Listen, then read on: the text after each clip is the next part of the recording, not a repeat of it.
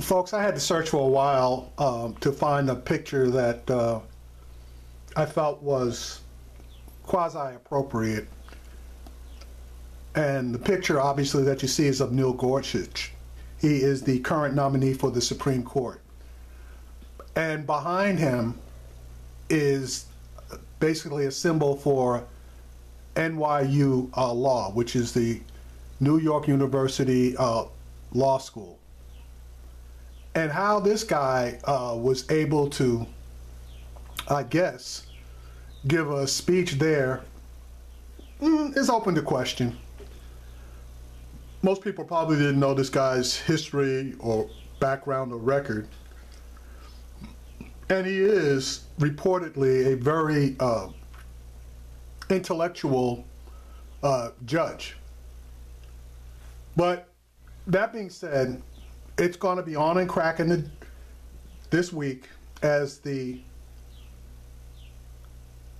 Republican Party is going to change the rules and basically castrate the uh, Democratic uh, Party or Democratic uh, senators. The nuclear option, which is uh, the rule that it takes 60 votes to break a filibuster or 60 votes to bring closure to a debate, closure being discussion of a debate and a vote called. It takes 60 votes currently on a Supreme Court uh, justice nominee to uh, bring the matter to a vote for the full Senate. Well, the Republicans can't get 60 votes. Okay? They have uh, approximately 52 votes, and they need eight Democrats uh, to vote with them on closure. Thus far, they got three. So they would not be able to break a filibuster. Now, the only way that they can do that is to change the rules. And that's exactly what they are going to do.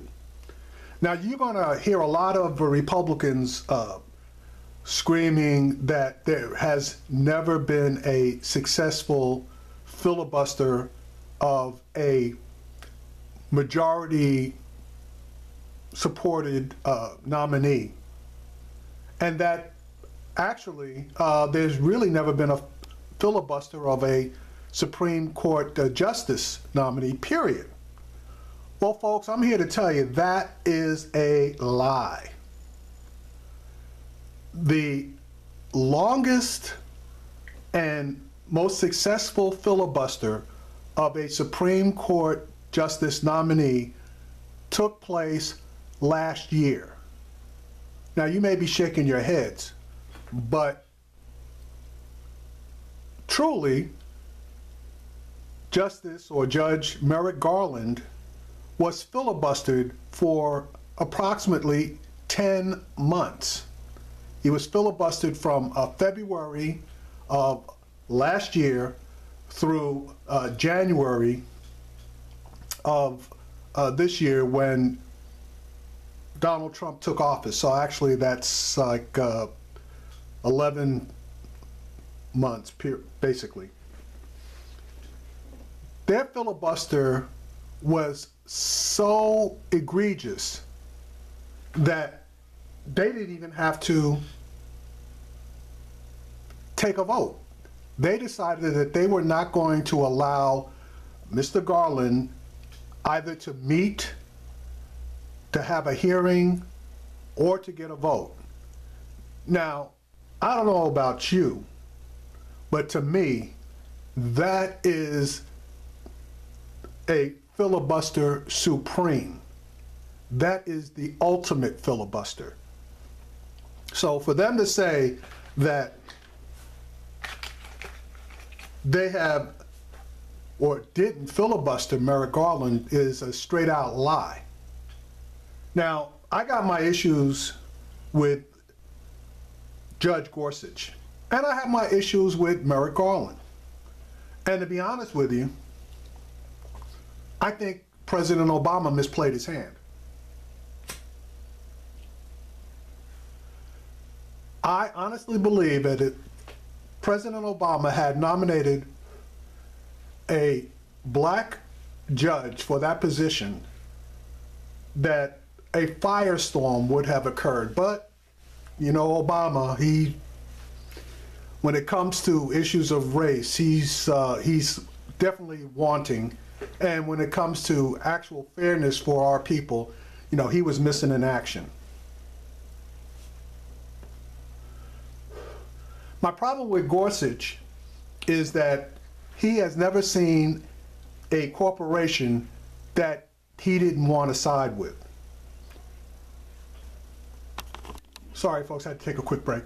Anyway, um, it only takes one really bad ruling to either destroy somebody's life or even to take their life.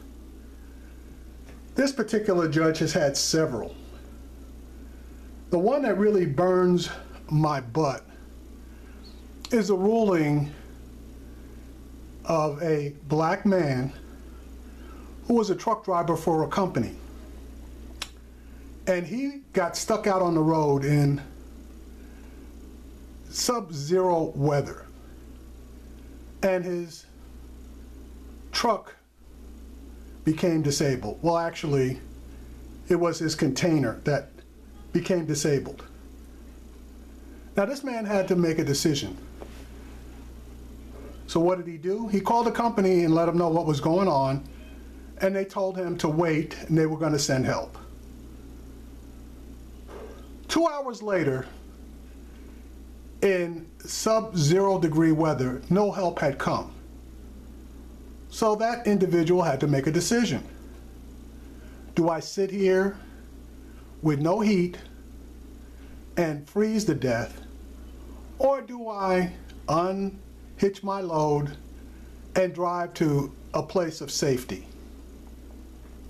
Well, obviously, common sense dictates you unhitch your load, you drive to a place of safety.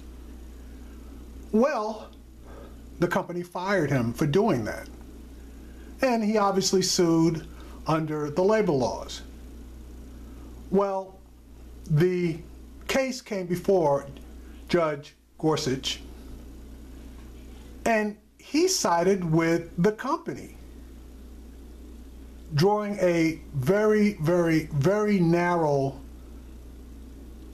opinion, which absolutely made no sense. And if you watch the Judiciary Committee hearing, you could see, or can see, that Al Franken cut him a new one on it.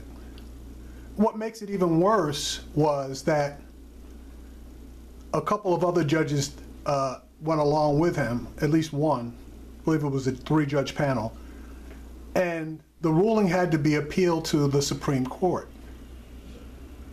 Well, guess what? The Supreme Court ruled in favor of the truck driver 8 to 0. So, does that tell you anything? It tells me that one, this guy has no common sense or any common decency, as the company didn't have any common sense or decency either. And Number two, there's another judge that was on that uh, lower court that uh, had no common sense or decency. And number three, this guy is still defending that decision. So that's just one of the things. He's had some rulings. He was the judge on the Hobby Lobby case where he ruled that a corporation has the right to decide what type of health benefits that they are willing to allow on their policy, even if the benefits are FREE free. And he also uh, had a Planned Parenthood case in front of him that he decided against Planned Parenthood. So, like I said, it only takes a couple of bad decisions to have an adverse effect on the American people.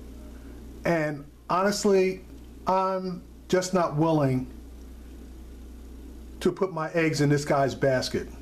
Now, in the review of his record, it was discovered that he's even further right than Justice Anton Scalia, who he is replacing. And he's just slightly less right than Clarence Thomas, who is the most conservative judge in the history of the Supreme Court. So, though it would not absolutely swing uh, the court to completely conservative because of Justice Kennedy, the fear is that this guy would lock in a, quite a few five to four decisions where Kennedy sided with the conservatives. And if Kennedy or God forbid Ginsburg decide to retire or pass away within the next three plus years, that the court will obviously be swung completely to the right. And there will be no possibility of change for at least the next 10 to 15 years. So the Democrats, you need to uh, dig in your heels on this one. And even though I believe that you are going to uh, lose because Harry Reid is going to declare the nuclear option, um, this one should be practiced for the next one. And that next one is going to be a humdinger.